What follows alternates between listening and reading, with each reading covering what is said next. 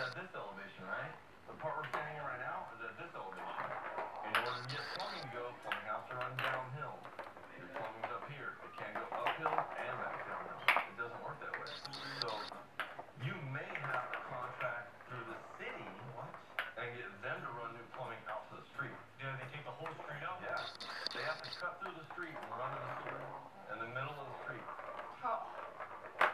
Let's do this. Why don't we contact the city, get a to to? When we contact the plumber first. Alright. In this situation, to spend fifty thousand dollars just for the plumbing, it's just not worth it.